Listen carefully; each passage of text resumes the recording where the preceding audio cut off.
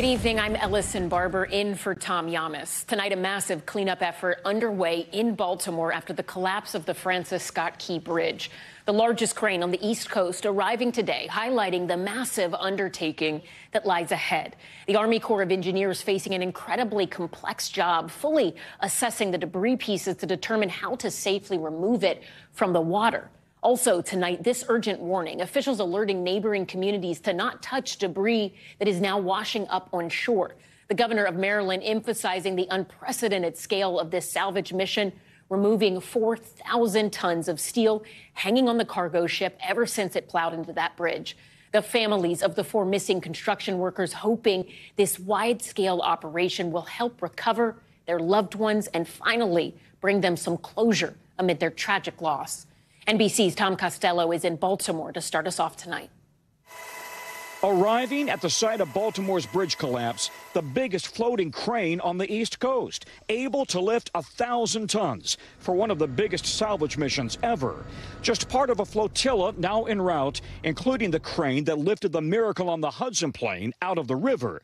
In all, seven floating cranes, 10 tugboats, nine barges, eight salvage vessels, and five Coast Guard boats. 8,000 local jobs are waiting. We need to clear the channel and open the vessel traffic to the port because the health of the Maryland economy and the national economy depend on it. On the water, the Army Corps of Engineers is using underwater drones and sonar to map the precise location of the wreckage, then lay out a coordinated salvage plan for divers. How we can cut it up into the pieces we need to be able to lift. NTSB investigators still interviewing crew members and gathering evidence on the crushed cargo ship, now trapped under the weight of twisted steel. A piece of highway lying on top. So take a look at the front of the ship, at the at the bow of the ship, and you see that piece of steel that's lying across it. That's three to four thousand tons. That is so heavy, it's pushing the bow into the water, down into the bottom of the river, and then it's lifting the stern up out of the water. Below the waterline, the river depth is roughly 50 feet. To reopen the port, the cranes will lift massive chunks of steel, concrete, and sunken cargo containers, some hazardous. All of it must be gone. The sand on the bottom completely clean. You can't leave any concrete, any steel, because it, it's, a, it's a threat to the vessel. We're going to get it all off the bottom and reopen this channel so it provides for safe navigation. Meanwhile, in Honduras, construction worker Maynor Martin Suazo's family in a heart-wrenching wait for his body to be recovered from the water in Baltimore. His brother saying, We are still waiting with faith and hope that they will find his body so we can bring him home. And Tom joins us now from Baltimore. Tom, we can see that crane over your shoulder, a reminder of just this enormous undertaking ahead. There are still four victims yeah. unaccounted for, lost underneath that water, and now we know the president is going to come to Baltimore soon. Do we know when that could happen? Yeah. That's right. Next week, uh, President Biden says he will be coming next week, presumably to meet with not only the search teams, Coast Guard, uh, the Army Corps of Engineers, the governor, of course, potentially also family members and, and emergency responders who were on the bridge at 1.30 in the morning on Tuesday. Can I just make the point? As you suggested, that is it right there. That is the 1,000-ton crane, the biggest on the East Coast. It is here. It is on site. And the plan is to eventually move it into position. I'm going to ask Rudy to show you the other side here. And he's shooting into the sun, so bear with him. But you can see that's the bridge and that's the ship. So wow. that crane is right here, ready to move, but it is only one piece of this massive flotilla that will take shape. Wow, so amazing to just see that up close behind you. Can you talk to us a little more about the emergency funds that Maryland has from the federal government? Where do things stand financially? What else do they need to continue their work? I mean, that crane, that is not something that isn't going to cost a lot of money to use, right? Yeah. 100%, you're right. Uh, so the federal government, President Biden, has already approved the first $60 million in emergency aid to Maryland, uh, and that will be a drop in the bucket, uh, not nearly enough. The total price tag at this point is estimated when, when they actually have to rebuild the bridge, probably well over a billion, maybe one and a half billion dollars. These are just ballpark figures, right? They don't even have the design yet for a new bridge. They don't have any estimate out there and no, no, no offers, if you will. but it is going to cost an extraordinary amount of money. And as you've heard, uh, we've also heard Secretary uh, Buttigieg suggesting that if an, an, individual company is found any way responsible and liable, they could also be held accountable, potentially financially accountable as well. Tom Costello, senior correspondent, thank you. And as the chaos in Haiti continues, we have new reporting on the work U.S. officials are doing to try and stop the weapons that get into the hands of those gang members. A UN report last year found most of the guns used by the gangs there have been smuggled into Haiti illegally from the United States and Florida in particular. Tonight, our Guad Venegas is in Miami getting exclusive access inside the operation by the Department of Homeland Security to cut off that flow of illegal weapons. What you're seeing here is the fuel of a lot of the violence you're seeing down in Haiti and the Caribbean. It's the source of power for the gangs tormenting Haiti. An arms race to create an arsenal that ensures control. You have 338 sniper rifles, 308s as well, very high caliber weapon used by a lot of militaries. Also a 308 belt fed machine gun. It's older, but it's very functional and obviously a very potent weapon in the wrong hands. What looks like a high caliber gun show is instead evidence seized by Homeland Security investigations in Miami all of these intended to be shipped to Haiti. This is one of the most unique port of entries in the United States. Special agent in charge, Anthony Salisbury, taking NBC News on an exclusive, in depth look at the colossal task to stop the gun smuggling. Is this a daily occurrence that you guys are finding weapons? It's a very regular regular occurrence. It, it sometimes daily, ebb and flow with it, but yeah, it wouldn't be uncommon to get daily weapon seizures coming out of Miami. This is one of the weapons seized by U.S. authorities. It's a 50 cal Barrett anti-material rifle. This can shoot through walls, cinder block, and vehicles. If purchased legally in the U.S., it'll cost about $12,000. But once smuggled into Haiti, gang members will pay anywhere from $30 to $40,000 for it. It's estimated a large portion of those weapons are smuggled on freighter ships that depart from a five mile strip of the Miami River that also serves as a port of entry and exit to Haiti and the Caribbean. It's the last shipping mechanism like this in the United States. It's known as break bulk cargo, meaning it's not containerized, very informal shipping mechanism that's utilized to ship goods down to Haiti typically secondhand goods and makes it very difficult for us to do our job in order to, to determine if any illicit weapons, money are transiting down to Haiti. A report released last March by the United Nations Office on Drugs and Crime finding the principal source of firearms and munition in Haiti is in the U.S. and in particular Florida. Last week, Florida Governor Ron DeSantis telling NBC News he wants the federal government to do more. In terms of what is going into the country from the United States, that's something that is the, the federal government's responsibility uh, for that. So if this 308 was inside one of the boxes we saw in the warehouse, the boxes were about this big, right? Yep. If you were to put one in there, is there a machine that can detect that, or how would you find that inside a pallet of boxes in the middle of a warehouse? Well, all those packages you saw would have to be broken apart on the pallet. And so imagine all that. Imagine breaking down all those pallets one by one, loading up one box at a time, rolling it through an X-ray. We don't have the resources.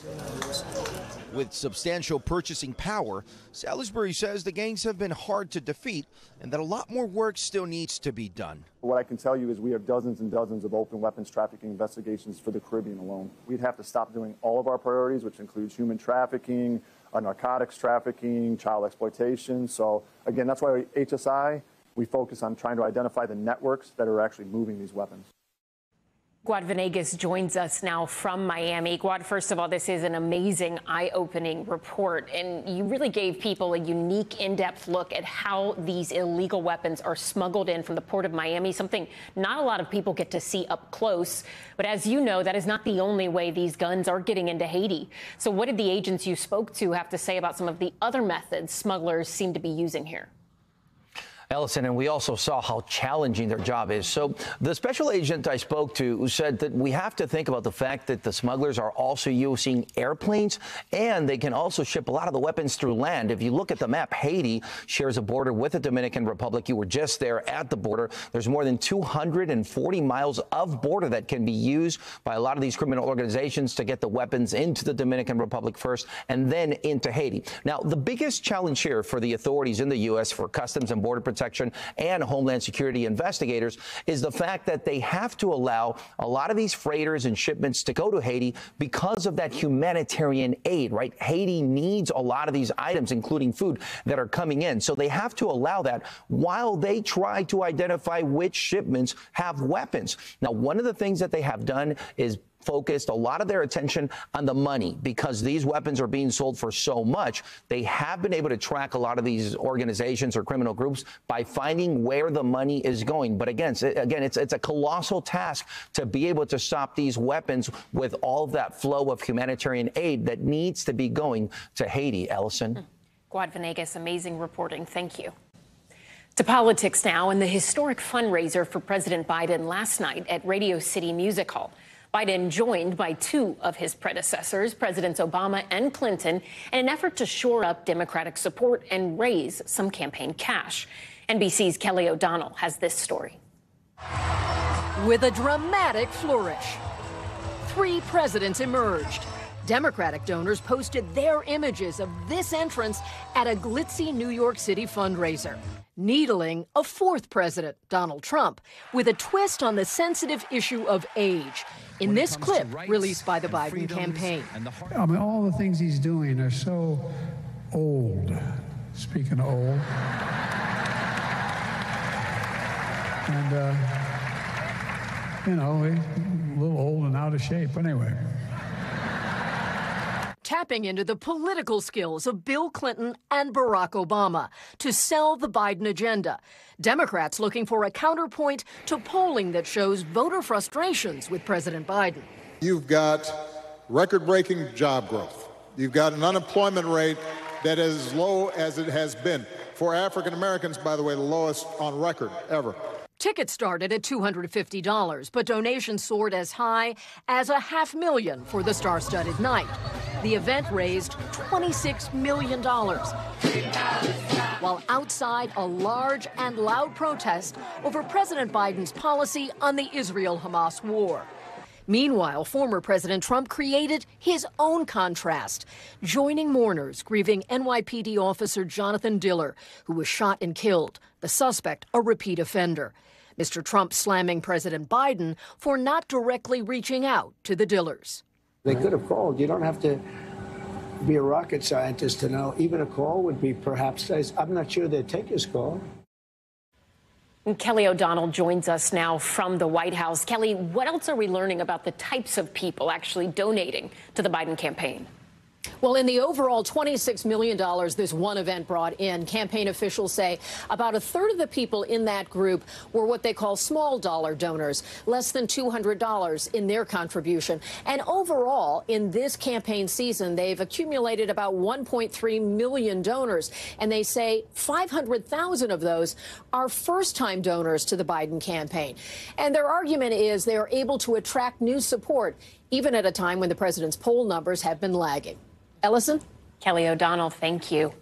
Moving overseas now to the escalating violence in the Middle East. In Syria tonight, Israeli airstrikes killing more than 40 people, including some members of Hezbollah. The attack on the country, one of the worst it's seen in recent years, now stoking fears of a wider conflict in the region.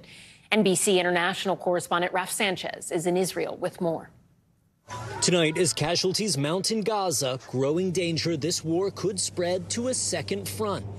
In northern Syria, Israel allegedly striking in the city of Aleppo. A monitor group says it's the largest such attack in years, killing 36 Syrian soldiers and six militants from Iranian backed Hezbollah. Israel isn't commenting, but hours later, targeting this car in southern Lebanon. Israel saying they took out a Hezbollah commander responsible for rocket attacks on Israeli civilians. The militants confirming his death and vowing revenge. Hezbollah in Lebanon is aligned with Hamas, but it's larger and more powerful and has been striking Israel, which has been firing back since the Hamas terror attacks on October 7th. Fighting intensifying this week with funerals for civilians on both sides of the border. Nearly 200,000 Israelis and Lebanese have been displaced by the conflict, leaving Israeli villages like Hanita a ghost town. The only residents left are part of security patrols. Is it sad for you to see it like this? Of course, we like our community. We want to live together. We follow them into an abandoned house and up the stairs. The border with Lebanon is just a couple hundred yards away over that fence, well within range of Hezbollah's mortars. And the Israeli military says it was one of those mortars that crashed through the roof of this house, destroying the top floor. These are the tiles that were once the roof. No way to rebuild, with threats of war hanging overhead. And Raf Sanchez joins us now from Tel Aviv, Israel. Raf, you said in the piece that fighting has been escalating. Is there any sort of off ramp here, a way possibly to avoid a war between Israel and Hezbollah? Well, Ellison, the Biden administration certainly hopes so. It has been one of their absolutely top diplomatic priorities since October 7th to make sure this war does not spread to Lebanon.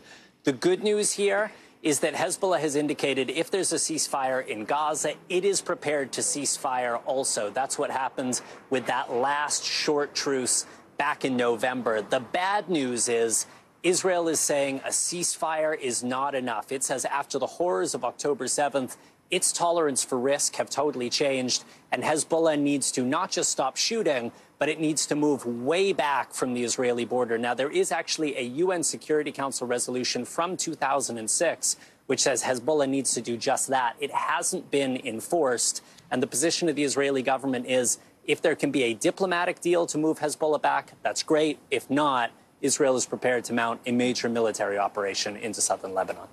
Elsa. Raf, Raf Sanchez, thank you. Now to the latest on Russia's ongoing detention of Evan Gershkovich. Today marks one year since the Wall Street Journal reporter was arrested by Russian authorities. Tonight, the symbolic front page on the journal marking the anniversary and the efforts by U.S. officials to bring him back home. NBC News Chief Foreign Affairs Correspondent Andrea Mitchell has the latest. On today's first anniversary of Evan Gershkovich's arrest in Russia, the Wall Street Journal's front page was mostly blank white columns where his reporting should have been, and a searing story on what Evan has lost during a year in jail. Journalism is not a crime. Prominent journalists gathered at the Wall Street Journal this week for a 24 hour readathon of Evan's work. A year is a long time for his parents. Do you think they're doing enough? We have a commitment from the U.S. government. We know they're working hard, and we just uh, want them to continue doing. Last month, the possibility of a trade was raised in an Oval Office meeting between President Biden and German Chancellor Olaf Scholz. Two sources tell NBC News Scholz for the first time considered giving up a Russian assassin Putin wants, who's in a German prison, in exchange for Alexei Navalny. The U.S. wanted the deal to also include Evan and Paul Whelan, an American businessman imprisoned in Russia for what the U.S. says are false espionage charges. A week later, Navalny died, the sources say, before the trade was proposed to the Kremlin. Today, President Biden's message for Evan and his family.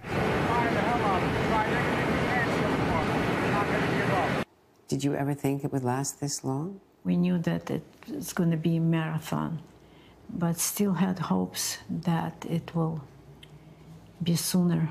Tonight, Congress's four leaders in a rare bipartisan statement saying reporters are not bargaining chips and calling on the Kremlin to release Evan and all who are wrongfully detained. Allison. Andrea Mitchell, thank you. We're going to turn now to the severe weather threat out west. Heavy rainfall set to impact central and coastal California this weekend. Flood watches in effect for 21 million people, plus winter alerts issued in the mountains where up to two feet of snow could fall.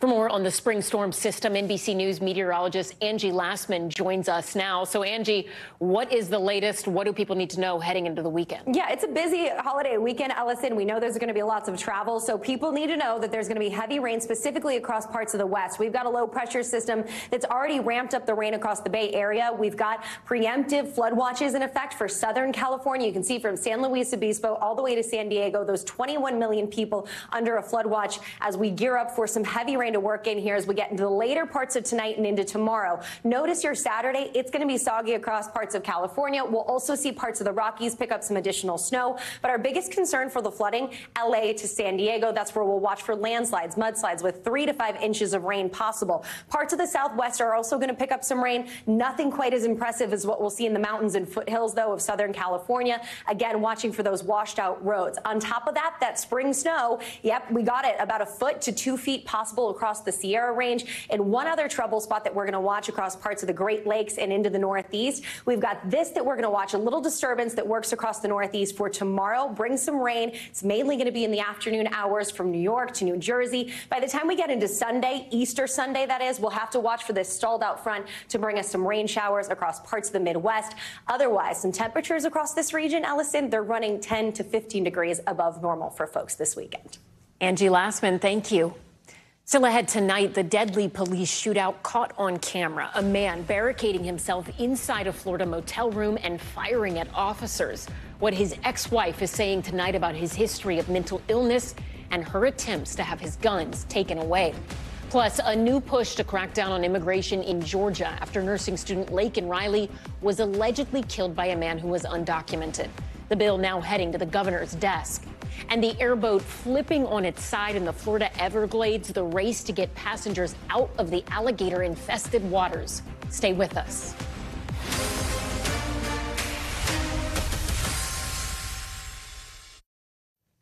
We're back now with the latest push to tighten Georgia's already strict immigration laws in the wake of the nursing student Laken Riley's death. An undocumented immigrant in custody tonight accused of killing the 22 year old near the University of Georgia's campus. Her case igniting a fiery debate over immigration in the state and beyond. NBC's Stephen Romo has more on the bill that's now headed to the governor's desk. At the Georgia State Capitol, is this body, the House of the People, legally entitled to amend, circumvent, or repeal federal law? I don't know about that, but we're getting ready to do it if that's what you think. That was the question seconds before state lawmakers voted to push a controversial immigration bill to Republican Governor Brian Kemp's desk. The House Bill 1105. The measure passing on the last day of the legislative session amid ongoing fallout from the death of 22 year old Laken Riley, the University of Georgia nursing student who was found dead after going for a jog near her campus in Athens. Undocumented immigrant Jose Antonio Ibarra from Venezuela is charged with her murder. He had previously been arrested in 2022 for entering the U.S. without authorization, but was released on parole according to Immigration and Customs Enforcement. He's currently being held without bond. House Bill 1105 would require local law enforcement agencies to check the immigration status of people in their custody and cooperate with federal immigration authorities with added penalties of losing state or federal funding for failing to comply. This bill simply ensures that when individuals have committed crimes in Georgia, when we determine they are illegally in this country, that we fully work with federal immigration authorities. The bill getting pushback on the floor right before the vote. A lot of concerns have been raised by law enforcement uh, that this bill will undermine their ability to keep their communities safe by requiring them to essentially act as if they were uh, immigration law enforcement officers. Immigration advocates say the bill would make some communities less willing to report crime and work with local law enforcement. What was a personal tragedy for a family. I wish I could have been there to protect her is now a political flashpoint. My vision for every senator in this chamber is that you protect citizens from this illegal invasion. Riley's father even visiting the state Senate earlier this month, asking them to pass the bill. President Biden responding on the fly during the State of the Union earlier this month to Representative Marjorie Taylor Greene's outburst on Riley's death. Say her name becoming a rallying cry for Republicans hoping to get tighter immigration laws passed, reinforcing long held fears many on the right have that immigration leads to an increase in crime. Fears that might not hold up to the data. Studies show no meaningful impact on homicide or robbery rates associated with sanctuary city policies. And Stephen Romo joins us now in studio. So, Stephen, Georgia has been looking at other penalties for other cities that don't adhere to immigration laws, right? Explain that to us. Yeah, this is an interesting uh, point, Ellison. Georgia's also passed House Bill 301. Now, that will give residents the ability to sue local governments, municipalities, if they're not following immigration laws. Now, that might sound familiar because back in 2021, Texas passed a law to allow residents to sue abortion providers. Now, very different topics here, but an interesting strategy of putting the onus on residents to go in and file these civil lawsuits if things aren't going exactly as these lawmakers planned. Ellison? Stephen Romo, thank you. Next, to shocking body camera footage out of Florida. It shows an intense shootout at a local hotel as police attempted to apprehend a man they say was armed and making concerning 911 calls. NBC News correspondent Priscilla Thompson has more on what led up to this deadly encounter. Newly released police body cam video shows the tense shootout at a Florida Holiday Inn last week that left one man dead and an officer wounded. Please come out. Come out with your hands up. The video, which was released and edited by Fort Lauderdale police, appears to show officers approaching a hotel room with 46 year old Carl Kladinsky inside. Hands up, hands up. Let me see your hands. Let me see your hands. Let me see your hands. Police slowed down and narrated what they say happened next. The suspect opened the door with a phone in his left hand, a gun in his right. The suspect brings the gun down towards the officers. That's when police say officers fired at the suspect and the suspect fired back, lodging this bullet in an officer's vest, police say. That officer was taken to the hospital and later released. The suspect was pronounced dead on the scene. The whole ordeal leaving hotel guests shaken. One of the staff members, there was a lot of people in there. She was like, everybody get into this conference room, get into this conference room. They put us in there, they locked it, turned the lights off. Police were called to the Holiday Inn last Thursday morning after Kladinsky told 911 dispatchers that he had killed someone in the room, police say. He's stating he has fully automated and three handguns with him and he will shoot. Dispatchers say Kladinsky was rambling saying that his wife was being raped and mentioned that he sees a therapist. Police say no victims were found in the room. He sees the door moving now and is about to shoot, saying if he sees the door move, he will shoot. Kladinsky's ex wife tells our Miami station WTVJ her ex husband struggled with drug use and mental health issues. He was in a hotel, he was on drugs, he was hallucinating, he was kind of like going off of this rampage that he always always does. Thinks people are after him to kill him. Records show Kladinsky had several previous drug arrests and a risk protection order in 2022 that allowed police to confiscate all of his firearms. Documents show that order expired last year. I tried to tell them he does not need to have um, um, guns, and he kept getting guns. And then he would surrender the guns because I would say something, and then he'd get guns again. The three officers involved in the shooting remain on paid leave, officials say, pending an investigation. Priscilla Thompson, NBC News. When we come back, a terrifying attack in New York City. A woman seen on surveillance video being chased down a street after she was followed from a subway station. How she managed to get away, and the search tonight for that suspect.